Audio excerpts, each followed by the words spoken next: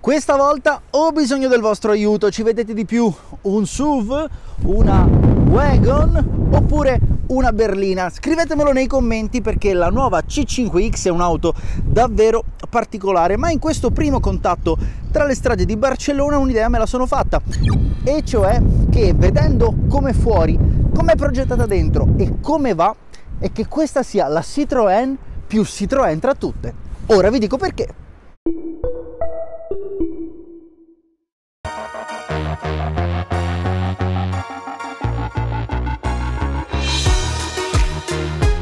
Finalmente qualcosa di diverso. In un mondo dove fare un prodotto che esca dagli schemi è sempre più rischioso, ben venga un'auto che è persino difficile da classificare. Sicuramente però la si può battezzare come ammiraglia sia per le dimensioni, con una lunghezza di poco superiore a 4,80 m, larghezza di 1,86 m e altezza di 1,48 m, sia perché rappresenta la massima essenza di ciò che da sempre ha contraddistinto le berline Citroën, design e comfort. Il primo è sicuramente audace e richiama subito a progenitrici come la C6 o la XM, con la quale vedo un po' di somiglianza nel posteriore, con la spalla rialzata e il piccolo spoiler, che dite? Sia dietro che avanti i gruppi ottici sono a LED, mentre i cerchi sono da 19 pollici. Più grandi, come vanno tanto di moda ora, non si possono avere e c'è un motivo, cioè la seconda caratteristica, la comodità. Davvero familiare il bagagliaio con 545 litri di capacità minima che arrivano fino a 1640 abbattendo lo schienale diviso 60-40. Ci sono soluzioni come una presa di ricarica, dei binari per far scorrere i bagagli, ma soprattutto mi piace la soglia bassa e poi la cappelliera che è solidale al portellone e quindi l'apertura è sempre generosa, però non ci sono dei ganci per le buste della spesa nella parte alta. Forse il passeggero più fortunato è il posteriore destro perché può regolare direttamente da qui il sedile davanti a lui e trasformare il suo posto in una business class. Qua e là ci sono ben 13 vani portaoggetti per un totale di 29 litri e così la vita a bordo, specie per le famiglie, è più facile. Non solo quelli anteriori ma anche i vetri posteriori sono stratificati per aumentare l'isolamento acustico e portarlo ai vertici della categoria.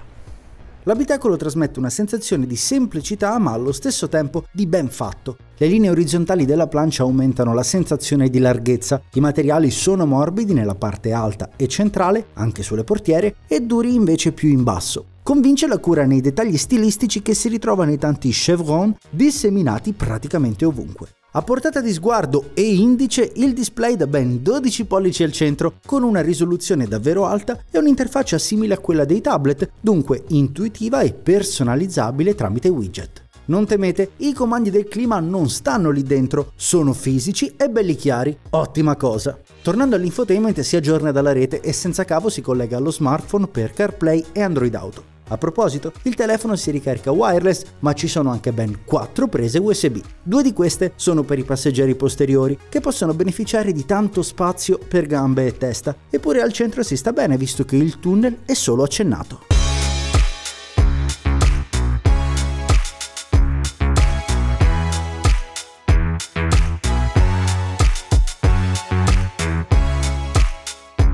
Inutile girarci intorno che la C5X nasca per essere una grande viaggiatrice, lo si capisce anche quando è ferma, eppure da questo punto di vista è figlia dei suoi tempi, nel senso che in gamma non c'è una variante diesel, ci sono due benzina, un 1200 3 cilindri 130 cavalli con cambio automatico autorapporti, un 1600 4 cilindri 180 cavalli, sempre con lo stesso cambio automatico, sicuramente più a fuoco per quest'auto considerando una massa che di media sta sempre attorno ai 1500 kg e poi l'interessante versione ibrida plug-in che sto guidando in questo momento. Il termico è sempre il 1600, ma con l'abbinamento con un motore elettrico da 80 kW circa, la potenza sale a 225 cavalli. La batteria ha una capacità di 12,4 kWh e promette un'autonomia in elettrico di circa 50 km secondo il ciclo WLTP. La si ricarica in 7 ore da presa domestica col caricatore di bordo da 3,7 kW o in 2 sfruttando da wallbox la potenza del caricatore opzionale da 7,4 kW. Al volante l'erogazione lineare e controllata dell'elettrico è combinata in maniera fluida con quella termica attraverso l'impercettibile cambio EAT8. Dunque zero incertezze né tantomeno vibrazioni. Leggero lo sterzo turistico ma comunicativo quanto basta per poter gestire con naturalezza questa grande wagon che può contare solo sulla trazione anteriore. Lo sterzo soffre di precisione giusto sulle curve strette e in modalità sport diventa persino troppo rigido. Buono il feeling col freno se riesce a modulare facilmente nonostante la prima parte della corsa sia quella dedicata alla rigenerazione. C'è anche un'opzione per massimizzare il recupero di energia in rilascio, usando quindi meno il pedale, e poi quattro modalità di guida, quella 100% elettrica, un'ibrida automatica, una comfort e la già citata sport, che sa difendersi bene con una velocità che sale rapidamente fino a 230 orari. Un asso nella manica di questa francese ricaricabile per aumentare ulteriormente il livello di comfort, considerando poi la sua taratura specifica dell'assetto, visto un aumento di peso di circa 250 kg rispetto alle varianti a benzina, si chiamano sospensioni Advanced Comfort attive. Ci sono dei sensori che analizzano la strada e poi una centralina in grado di controllare la rigidità di ogni singola ruota in questo modo le inerzie vengono smorzate, per esempio, nelle curve più veloci, senza però obbligare tutto il resto del tempo a una taratura troppo rigida. Il risultato è un comfort di assorbimento eccellente che è ben poco a da invidiare a tante tedesche. Le versioni a benzina non beneficiano di questa tecnologia, ma possono comunque contare sulle sospensioni Advanced Comfort con smorzatori idraulici progressivi.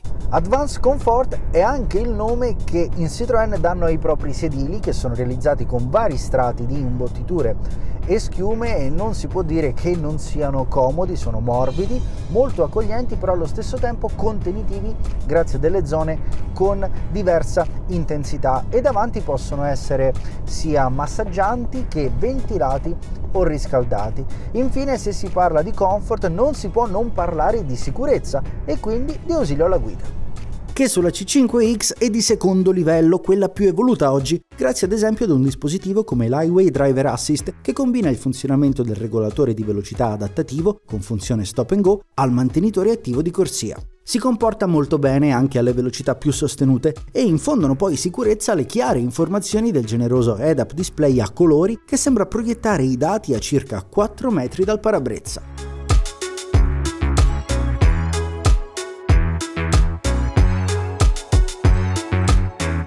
E voilà, come per magia, cambio versione, adesso sono al volante del benzina più potente, 1680 cavalli, 250 Nm di coppia a partire dai 1750 giri, 230 km di velocità massima e sempre di serie il cambio automatico EAT8, qui le modalità di guida sono tre, Eco, Normal e Sport.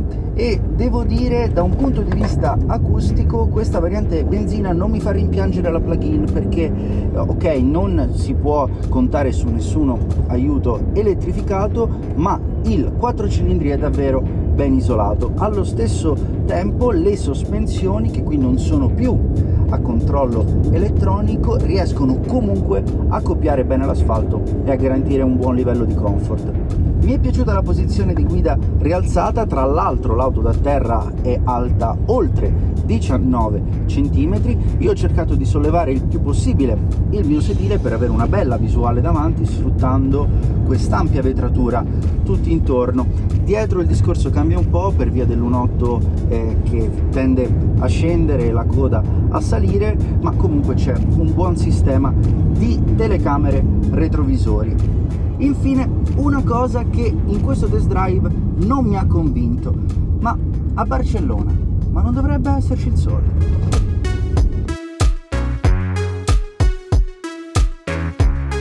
In questo primo contatto ho pensato che sia un peccato che i fari a matrice di LED non siano disponibili su un'auto così nuova e votata alla comodità di viaggio. Non mi ha convinto del tutto poi lo stop and go in coda, la frenata mi è parsa troppo brusca. Nel bagagliaio avrei voluto dei ganci superiori e poi con i binari in metallo una rete che tenga fermi i bagagli è d'obbligo. La C5X va a riprendersi quel posto che era prima della C5 Station Wagon. Per quanto riguarda i prezzi, vanno da circa 33.000 euro per la 130 cavalli con l'allestimento di ingresso e arrivano ai 39.000 euro della versione da 180 cavalli con la top di gamma. La plugin invece parte da 45.000 euro e arriva a superare di poco i 48.000 euro. Trovate tutti i dettagli e il listino completo su motorone.com.